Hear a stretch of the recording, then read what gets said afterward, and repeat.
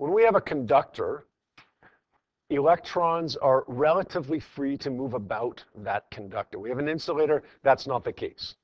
If we have extra electrons on that conductor or in that conductor, then those extra electrons are going to repel each other. So we're not talking right now about all of the electrons in this conductor. We're talking about the extra. If you have a million protons, you have a million and five electrons. If you have 60,000 uh, protons, then you got 64,000 electrons. You've got more electrons than protons. Those extra electrons will repel each other, push each other apart until the force of repulsion caused by one electron on another one is equal to some other force of repulsion of some other electron on this one. So in other words, until the forces balance. When the forces balance, the repulsive forces balance, then we reach this point that we call static equilibrium. Balanced forces, static equilibrium. That's the point at which all the extra electrons have actually come to rest. They've stopped. They've stopped moving around because they don't have to move around anymore. The forces that are repelling them apart from each other are all balancing now. At what point does this static equilibrium occur? In other words, what does the charge distribution of electrons look like in these conductors in order for these uh, in order for this static equilibrium to occur? Well, the first diagram that we saw yesterday was when we had a solid conducting sphere. In other words, a ball a solid ball, not a hollow ball, a solid ball that's made of some kind of conducting material like steel, like copper. Okay, it could be anything, any metal basically, that's a good conductor. We saw yesterday that if we have three extra electrons, as you see in this diagram, okay, then those extra electrons will all repel each other to the outer surface. Remember the net force yesterday on all three of these? Cause these electrons all to be pushed to the outer surface. Now, if you had 50 electrons there, the same analysis would apply. You just have 50 arrows acting on each, 50 forces acting on each uh, electron as opposed to three. So we've got a force of repulsion or multiple forces of repulsion acting on all of these electrons which push them to the outer surface. Quick question for you. I asked this yesterday. I'll ask it again here. Why, when these electrons get to the outer surface, right here, do they stop? Why do they not go, why do they not keep going just into the air, like out here, and just float away? Simon? Good. The air is an insulator, and the electrons don't want to go to the insulator. Hey, I asked that question, but it's a bit of a loaded question because the reality is they can sometimes go beyond that. If the air is damp, if the air is moist, right? It's a better conductor, and that's when you're going to get the electrons leaving. If you have too many electrons building up here on the surface, then they repel each other so much that it doesn't matter if you have an insulator. They're still going to, some of them at least, will still discharge, will still leave into the, uh, uh, into the air. That's arcing, right? That's discharging.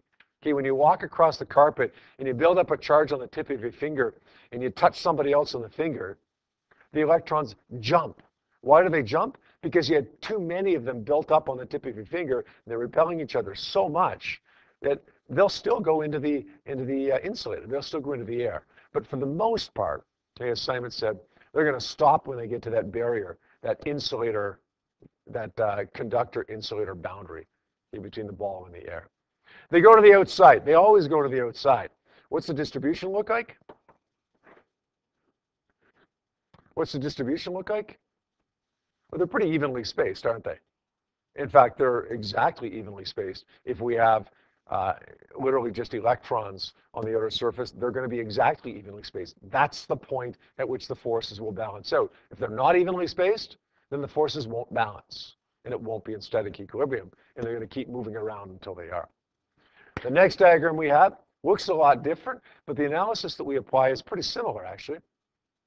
If you look at the first diagram here, uh, especially this middle, this middle electron here, we'll call it charge number two, it experiences a force of repulsion caused by number three. To the left, it experiences a, a force of repulsion caused by number one to the right. So this is going to be F32, this is going to be F12. The force of 1 on 2 is bigger because 1 is closer to 2 than 3 is to 2. So, what happens to this electron as a result of those two forces there? What happens to this electron as a result of these two forces? Yep. Yeah, it's, it's pushed to the right because F12 is bigger, right? It goes in the direction of the bigger force, so it moves to the right. But as it moves to the right, F12 becomes a smaller force, and F32 becomes a bigger force. At some point, they're going to balance each other out. Okay, that's the point where it's in static equilibrium. When does that happen? When that charge reaches the middle. So what do we find about this one? Just the same as the last one. The charges go to the outer surface, and the charges are evenly spaced.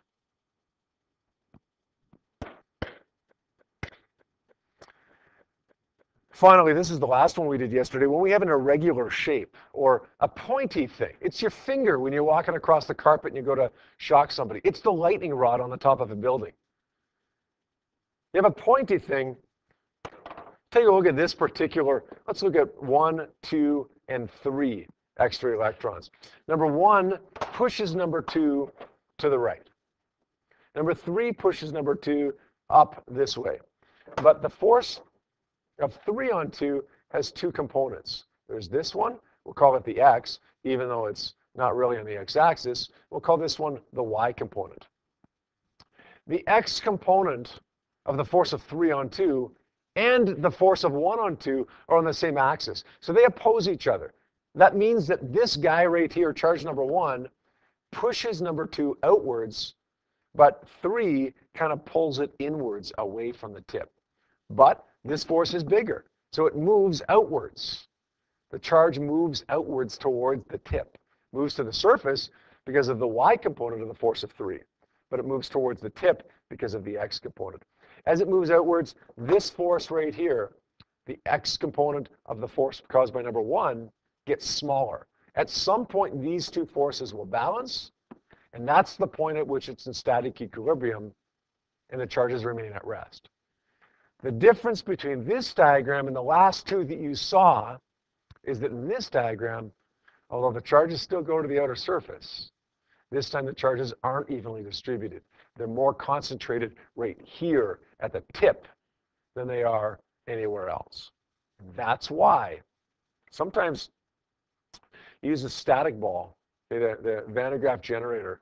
Okay, some doesn't always work, and I think the day that we did it, didn't hear this, but sometimes on you know, if all the conditions are perfect, the person with their hand on the static ball can, can take the other hand, point their finger, and move their finger around, and you can literally hear them moving their finger around because there's such a buildup of charge in their finger and that finger that they're moving around that it ends up discharging to the air, and you can hear it. Eh, that's why that happens with your finger, is because the concentration of charge at the tip is much greater than the concentration of charge anywhere else.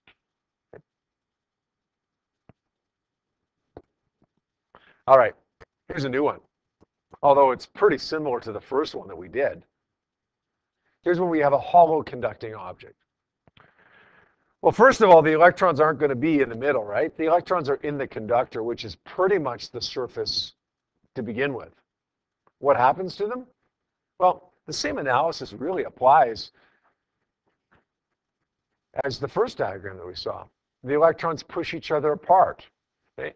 Uh, this guy is pushed by this guy and this guy. This one is pushed by this one and this one, and so on. So they all get pushed not to the surface, but to the outer surface. Okay, this is a pretty thin, pretty thin uh, ball or a pretty thin hollow conducting sphere. They're all going to be basically on the surface even from the beginning. But when they reach static equilibrium, they're not just on the surface, they're on the outer surface of it. They get pushed to the outer surface. What's the distribution look like? Well, they're going to be evenly distributed.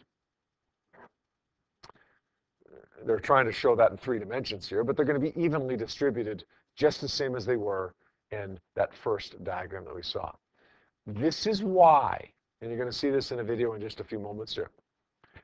This is why. This is the question that that uh, everybody from the time they're, you know, 13 years old and hear a lightning storm, you know, it's a lightning storm. Where are you supposed to go? In your car. The car is a safe place to be in a lightning storm.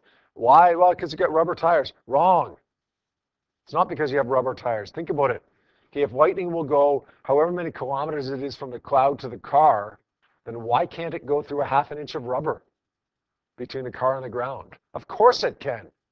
The rubber has nothing to do with it. Rubber's an insulator, but it's not going to hold several million volts from going from a car to the ground. It has nothing to do with it. A car is a safe place to be in a lightning storm because of this. A car is a hollow, it's not a sphere, but it's a hollow metal object. A hollow metal object causes the electrons to go to the outer surface. And what happens as a result of that? Let's take a look for a second at the electric field inside. The electric field points this way towards number one. It points this way towards number two, and it points this way towards number three. What do you think happens to all three of those fields if we did a vector analysis? They cancel out. So the net electric field inside this surface is zero. That's why it's a safe place to be in a lightning storm in a car, because the net electric field inside that car is zero, and it has to be. It doesn't matter how many quadrillion electrons are on the surface of this car, the net electric field will be zero. Now, I, I think it would be rather scary if you were in a car that got struck by lightning. The electrical system may even fail. But you are safe as long as you're not, as long as you don't have your hand out the window and touching the roof of your car, then you're safe. Got it? Let's take a look at one final picture here now, one final diagram where we have what we call parallel plate capacitors. This is the plate that we saw earlier in one of the other diagrams times two. We got two charged plates. One of them is positively charged, one of them is negatively charged. These are our parallel plates that we talked about a couple of days ago with our new electric field equation, right? E is equal to delta V over delta D. What happens here? Well, this one's a tiny bit trickier here, okay?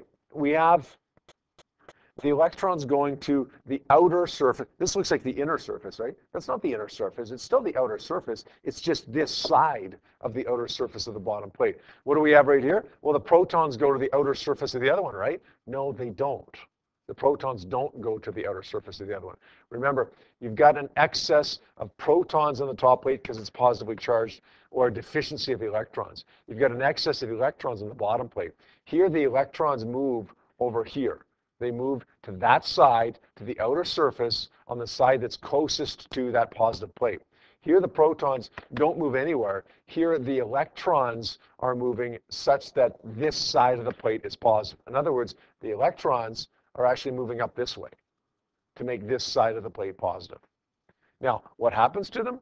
Well, the net charge, we're not necessarily saying the protons are evenly distributed here, but the net positive charge is evenly distributed on that top plate. What do we end up with? If you take a look at the second diagram here, we end up with what we would expect, right? What we saw the other day. We have the electric field that acts between these two parallel plates going from positive to negative. Here's our field lines. But you can see at the edge here, right at the edge, we have these, these curved lines showing that at the edges, it's a non-uniform field. It's what we call the edge effects. Why do we have that at the edge? Well, because the plate doesn't keep going forever. As long as the plate keeps going, it's a uniform field. Beyond that, it's a non-uniform field, right? So same kind of idea in terms of distribution, charge distribution, as we saw for all the other diagrams. But this one actually shows us the electric field shape and distribution that we had, that we saw last week, all right? So quick little summary here. With all the diagrams that we saw, all the shapes that we saw, the charges, the excess charges, always go to the outer surface. They always go to the outer surface. No exceptions to that.